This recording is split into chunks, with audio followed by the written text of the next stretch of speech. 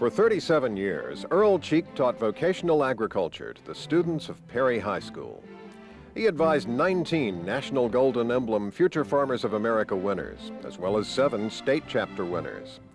He taught 25 American Farmers Degree recipients and 250 Planters Degree recipients. As a teacher, Earl Cheek affected the lives of hundreds of young people and agribusiness leaders in the Southeast. Outside the classroom, he served on state agricultural education committees, which helped establish and improve school shop facilities and programs. He also pioneered a high school level horticulture program which was adopted by the Georgia Department of Education. Cheek was also dedicated to making the farmers' voices heard in Washington. From 1974 until 1983, he worked as an administrative aide to Senator Sam Nunn and the late Congressman Richard Ray. In everything he does, Earl Cheek supports agriculture in Georgia. He has truly earned his spot in the Georgia Agricultural Hall of Fame at the University of Georgia. Well, I can go back and, of course, I was, when I was teaching, I always enjoyed quartets and string band, a lot of extracurricular activity. And it always made me feel good when you took a group of country boys and taught them to sing, you know, and they could sing, win the state in the quartet, and they never had any music.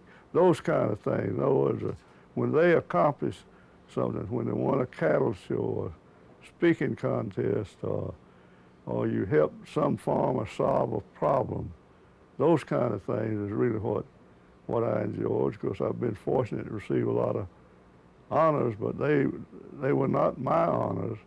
They were honors of my students and farmers and people that I work with.